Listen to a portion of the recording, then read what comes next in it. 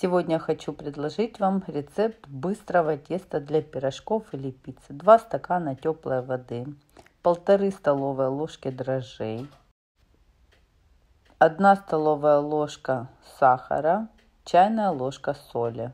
Все помешать и дать дрожжам подойти. Дрожжи подошли, начинаем дальше. Наливаем 4 столовые ложки постного масла. И нам нужна мука. Все будет видео под описанием. Муку добавляем частями. Просеиваем и добавляем в 2-3 захода, чтобы получилось мягкое тесто. Замешиваем тесто. Вот такое хорошее получается. Видите, как подошло тесто в течение 20 минут.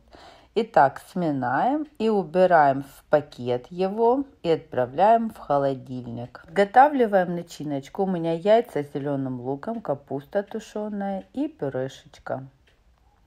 Посмотрите, как подошло тесто в течение получаса. Шикарное.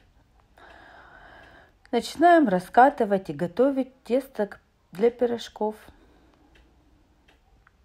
Это тесто также подойдет и для пиццы, и для хлеба. Очень вкусное, хорошее, нежное тесто. Чуть-чуть муки присыпать. Можно постным маслом. Я люблю работать с мукой, чтобы не сильно жирное было тесто.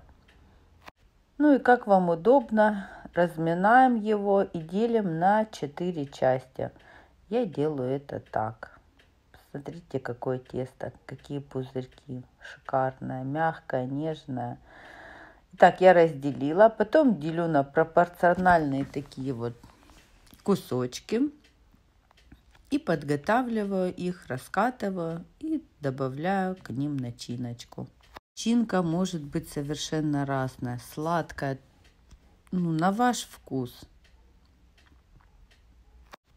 Потом мы лепим пирожочки и обжариваем на постном масле. Можно в духовке я захотела на постном масле.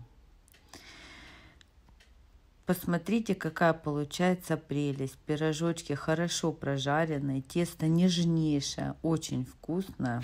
Советую приготовить. Всем хорошего дня. Ранее хочу поблагодарить за ваши лайки и комментарии. Еще раз благодарю.